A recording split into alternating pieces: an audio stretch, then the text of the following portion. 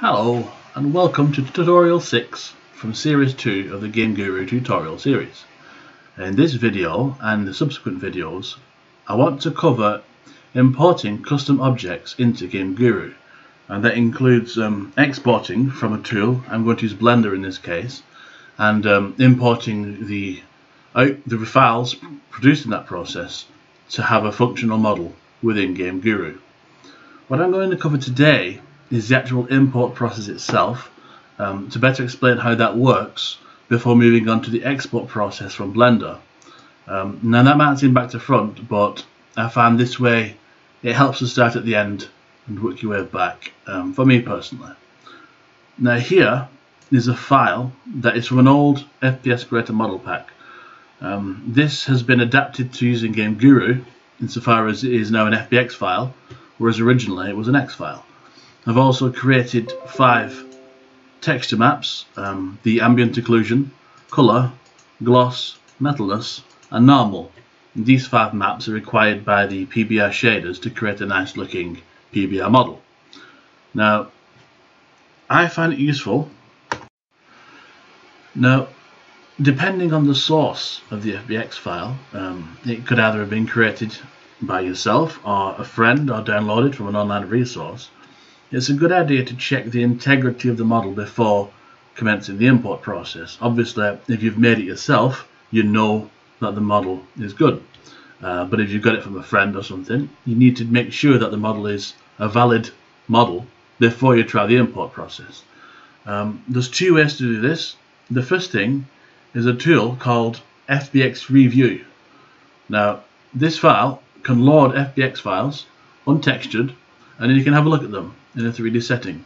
Now this is obviously not corrupted, it's a fine looking file, it's a fine looking object and we know this works. The second way to check, or another way to check, is Blender itself. Now, this is Blender 2.8, which is the latest incarnation of Blender and my tool of choice. Now, if you go up to File and Import FBX and select the FBX from the appropriate folder and Open or Import, it will load up into Blender and it should be exactly as it looks like.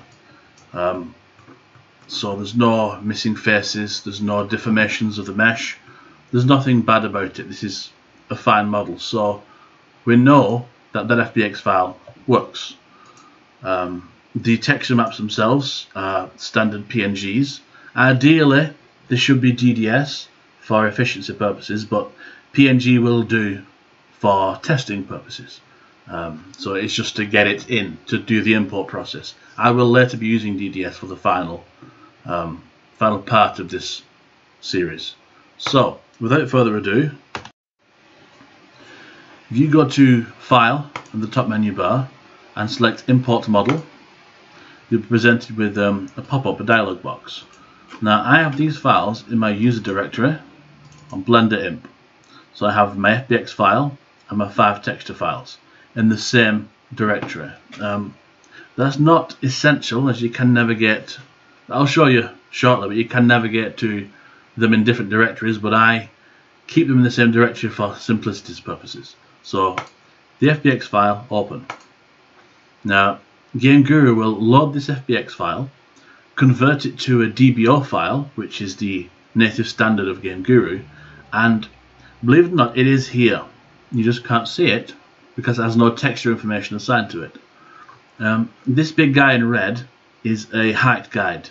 It can be turned off at the bottom, toggle. Now this is just to give you an idea of the scale of the model because um, this box could have been the size of a matchbox or the size of an elephant. Um, this can be edited later, but this is to give you a guide as to how big it's going to be once it's saved. Now, for texture information, there's a grey box in the top left corner of the screen and it will tell you at the bottom in text what that is pointing at. Now there isn't a material called material underscore underscore 3 underscore color so if you left click this grey box we have another dialog box where we can select the actual texture itself. Now there's five textures here we can only select one.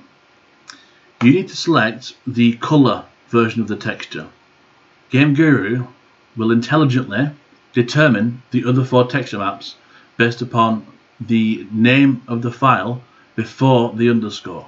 So you select create a underscore color, it will automatically assign create a underscore AR gloss metalness normal um, on its own. So we just need to select the color version. So click and open or double click. It will load that texture and apply it to the model. Now we can see it. Now we can see it's a little bit small so we can use this red slider up here to change the scale of the model. I'll have it about just under waist high. Now under the red slider bar is a box which says shader. That's your default PBR shader for all static objects. Most of the time this doesn't need to be touched. Um, the only time you need to really change a shader is if you're developing a very more complicated model which maybe animates um, in which case that's beyond the beyond the realm of this tutorial series because if you can do that you, um, you're, you're well on your way to master it. The only other two things that tend to be changed is collision mode where you can select box and polygon and no collision. Um, as the name implies, box is a simple box which, um, which bounds the object, which gives you a faster collision, um, but it's less accurate. And polygon, which uses the mesh itself to determine collision. So on a very, very, very complicated model, this will be very expensive to have. So you have to use your best judgment. And in this case, there's no competition. It's a box. It's a box, so it's going to have a box. The second option which needs to be considered is material. Now, material affects quite a lot, um, not only the decals, um, which happen when you shoot the model, and you have three standard options, stone, metal and wood, and a generic. Um, in my personal experience, if a model is mostly of a material, such as metal, then you should choose that. But if it's a mixed material model, such as like a chair with like um, a metal frame, a padded seat, you're better off picking generic, otherwise you're going to have incorrect sparks coming from the player hits it in the wrong place. But this is a metal box, it's all metal, so I'm going to select metal. Um, other than that, I need to change nothing else here. Um, word of note, all these informations can be changed in the FPE file, which will be generated during this process, and I will show you that shortly. But for now, we click Save Entity and then choose a folder to save it in. I'm going to put it in the same folder as my source files. I'm going to call it um, new crate if I can spell it right new crate 1 and save. And it will save that. It will generate a DBO file. It will generate a bitmap file for the thumbnail and it will generate an FPE file to hold the information about the model. Now if we go to add new entity, um, scroll down to user, which is where we saved it, Blender imp, and those are great. We can select it and OK or double click and it will appear in our world. Fully textured, our model is now a Game Guru object. Now we can further um, check the integrity of this model by hitting test game.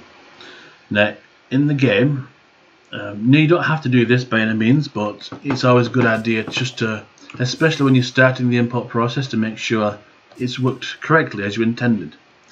In the test game, if you press F11 twice, quickly, tap tap, and then press 1 and hold it down, you get to see the albedo, which is the, the color map applied to the model with no other maps applied to it. Press number 2 and you get the normal map with no other maps applied. Number three is metalness. Number four is gloss. And number five is ambient occlusion. Now you can do this to make sure that each individual texture map has been correctly applied to your model. Um, it's a very good way to make sure it works properly and it's also a good way to test if something isn't working properly if there's a problem with the textures. Now that's a nice little um, a double checking feature that I use quite a lot just to make sure and it has come in handy several times. Now if you press escape one final thing I'm going to show you in this short video is the um, new files that have been created. The bitmap file is the thumbnail that you see in the left hand side toolbar. The DBO file is the 3D model that is inside Game Guru. Um, now this would be used every time you make new um, instances of the crate and the FPE file, as I said before, contains all the information that the model uses to exist in the world. If we double click on this, it should open in Notepad or Notepad++ plus if you specified. You see some basic information. Desk, or description, new crate 1. That's what I called the crate when I saved it from the object importer. Visual information, textured, crate underscore color.png. This is the um, texture file that I specified when selecting its texture. Underneath this, you see texture F1 through F5, which is color, null, metal, gloss, and AO. Those are the five PBR textures that have been applied to the model to make use of the effect of the shader. So this kind of tells you what it's called, what it looks like, what shader it's using, and down here, model, is the name of the model it uses when you create a new instance of that object in the world. Those are your main information about the model itself. Everything else is kind of behind the scenes things. So for example, scale. We increase the size of the box in the importer and that's now a numerical value, scale 174. We could change this number to say 50 and it would be a tiny tiny box, um, much smaller. If we could change it to 500 it would be huge, a huge box. Collision mode is the um, when you selected box or polygon um, that's represented by a numerical value, 0 and 1, and so on and so forth. Default static is if it's a static entity. If it's not a static entity, it's a dynamic entity. Um, that does make a difference, which is like um, if it's affected by physics, or scripts, or gravity, or phys uh, physical forces, things like that. A material index is um, the metal, stone, wood thing.